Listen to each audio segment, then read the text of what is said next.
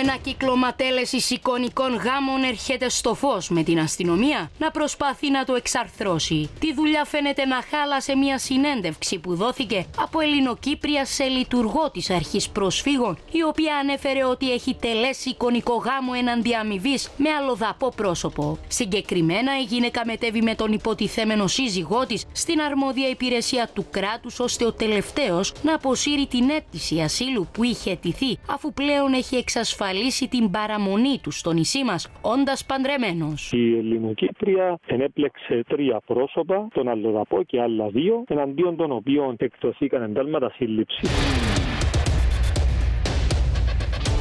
Σύμφωνα με πληροφορίες, η γυναίκα πάσχει εκγενετή από σύνδρομο νοητικής στέρησης. Ο αλλοδαπός οδηγήθηκε ενώπιον δικαιοσύνης και από χθες τελεί υπό εξαήμερη κράτηση. Είχα επαφές με τους δύο υπόπτους με σκοπό να παντρευτώ, ενώ ένας εκ των δύο μου ζήτησε το ποσό των 4.000 ευρώ. Του έδωσα τα χρήματα και στη συνέχεια με πάντρεψε με την Ελληνοκύπρια. Οι δύο ύποπτοι Ελληνοκύπριοι οδηγήθηκαν σήμερα ενώπιον του δικαστηρίου, το οποίο εξέδωσε διάταγμα κράτησή τους για τρεις μέρες. Μάλιστα, ένας εκ των δύο προσώπων που οδηγήθηκαν σήμερα στο δικαστήριο, σύμφωνα με πληροφορίες, είναι δικηγόρος από την Λέμεσο.